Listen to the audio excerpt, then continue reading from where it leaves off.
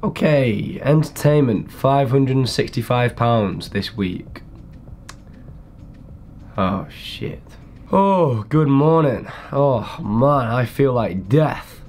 Okay, so my voice is gone. That is probably the consequence of this video this entire week, but I've been looking online and I've seen so, so many videos waking up at 5am like Casey Neistat, day in the life of Casey Neistat. Shut up about Casey Neistat. Everyone's video is about waking up at 5am, how productive they can be, and it's just like, yeah great, you've been productive, but have you had a good time? The answer is no. So, Jacob's video, even though it sounds like an absolute douchebag, this is gonna be waking up, no it's not, it's gonna be going to bed at 5am every day for a week. Let's get to it. Alright then, so starting off Monday, uni 10am, spoons 5pm. Do you want to go to um, the courtyard for one? Two. Drunk 7pm. I'm already hungover. I found a hack, like a scam with Wetherspoons, where if you order a double vodka monster, they give you two double vodka monsters for four pound. So I bought seven, and I am not good. Factory till 4. Go to Mackey's, get an Uber, back in bed for 5. Tuesday, wake up at 1pm. Uni at 1.30pm, spoons at 7. 5th till 3am, and then back to a girl's flat. You eventually go to bed at 5. What's this? Come here. What's this? What's this? Run. Wednesday, I had a nosebleed at 3pm. It woke me up. Hippo documentary at 4pm. Realised what I'd done the night before. I've made a severe and continuous lapse in my judgment. So back to spoons for 9pm. Hit up Ark with the lads and then back to the girls' flat for 5am. I would prefer the bathtub. Thursday, wake up for 12. Uni at 10am, I, I kind of missed it. Student union for 8pm and then grab Tilly and then go to factory till 4am.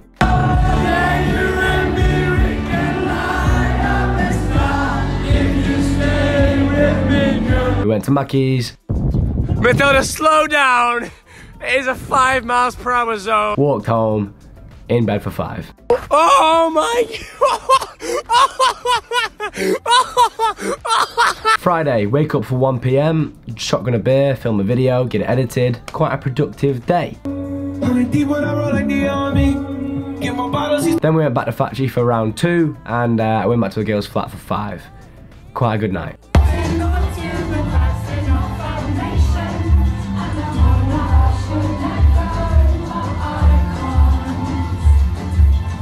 Saturday, we went for pre-drinks at Matt's flat. Shout out to Matt, he's got a YouTube channel out. I'll leave it below. Go check him out. He's a hilarious guy.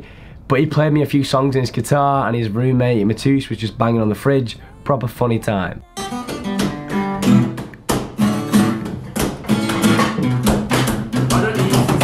That was around 8 pm. Hit up Spoons for 9. Great time at Birdcage. Met some Israeli fans, uh, and then stumbled home and made a website at 5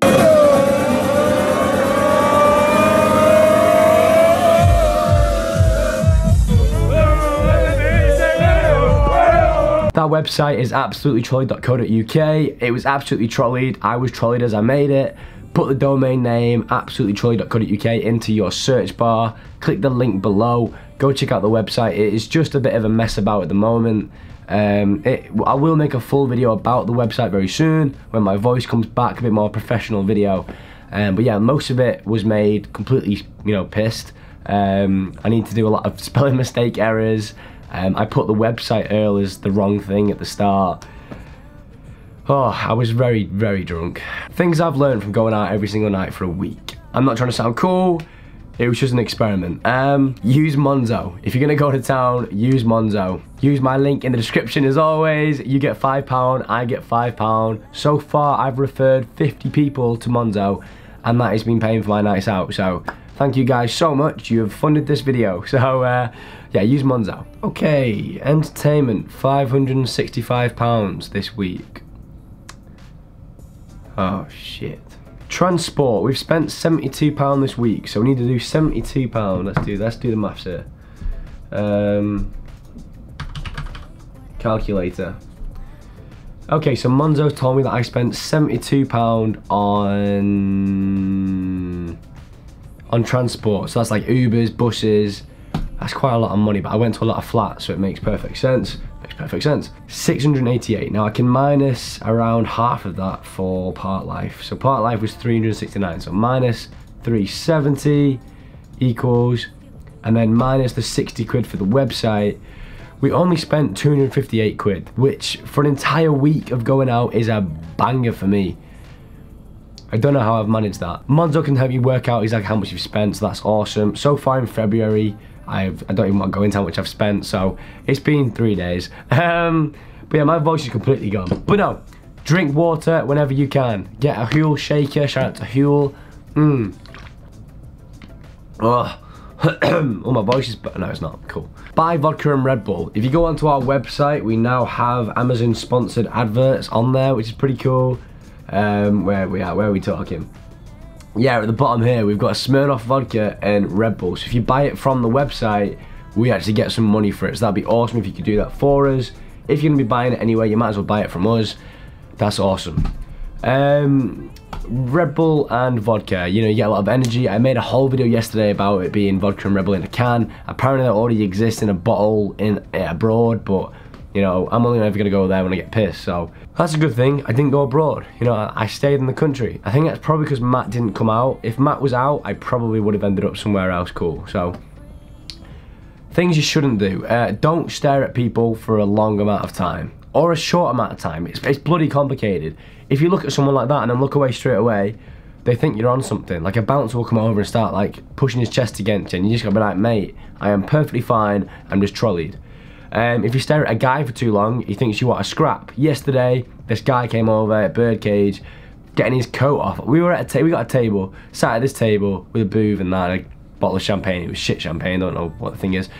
He comes over and he looks at us. I'm like, this guy wants a bit of trouble. And he's like, they're my coats. And I was thinking, I don't think that's your coat, mate, because my mate Harry had a coat on, he took it off. And I was like, that's not your coat. So I was looking at him for ages, thinking, that's not your coat. And he was like, he's like, what's up? I was like, that's not your coat. And he was like, nah, do you, you have a problem? I was like, nah, it's just not your coat. Guys get so angry and think they're fucking 10 men because they had a drink or something like that. If you look at girls for too long, they think you like you. They think they like, they think you like them, so they come over. Last night, there was fucking, this little girl. She was beautiful, don't get me wrong, she was well nice, but I'm not interested in all that. And I'm just, I was just looking because I thought I knew her. And she just comes over, and then I'm like, fuck's sake. Keisha's like, I think this one likes you. I'm like, you know, I'm not interested. Like, come on. Um, so Keys explained that I had a girlfriend, even though I don't, um, and sorted me out. So I got away with that. That was pretty fun. Don't buy people drinks. Um, when we went out on, uh, I don't know what day it was. Oh, we went to factory and Tilly wanted to buy everyone drinks. I was like, Tilly, you cannot afford to pay for all these drinks. Um, so like, yeah, don't buy people drinks. Unless it's like your girl or you're with your mates doing rounds, don't buy people drinks. I've made that mistake far too many times. I walk into a club, I say 10, and then I end up giving them away. You're like, no, you want to drink them all, you know what I mean? They're your drinks. So don't waste money on other people unless it's your girl or your friends. Um, and don't ever believe the before 12 deals.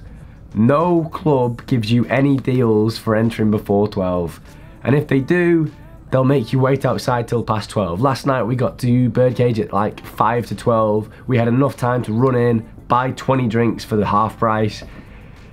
But no, they made they made us way outside till 12, little bastards. Final point of this video, um, take every opportunity that comes to you. Literally, this entire week, people have just been, apart from like, when I've been going out with a girl, I've asked them to go out, when my mates message me saying you out tonight, normally I'd be like, oh, maybe not. But this year, 2019, I've just been saying yes to everything and it's costing me a fucking fortune. But I've been having such a good time. Like literally, I can look at my Snapchat memories and just think I've had a I've had a class night. You know what I mean? So take every opportunity. You don't know how much fun you can actually have. Um, if your mates message you tonight saying, "Do you want to go for a pint?" Go for a pint. You'll end up in a different country. So uh, that is it for today's video. I hope you did enjoy. If you can relate or you enjoyed the, the thought, the process, the Snapchats, anything like that, add my Snapchat below, leave a like, share this video and subscribe with notifications on because none of my subscribers actually have notifications on which is why 2% of my subscribers actually get videos in their feed. So awesome. Thanks for watching. See you in the next video. Let's go to a club. No, no. Thanks for watching. See you next video. Bye. Thanks for watching, see you in the next video. Bye.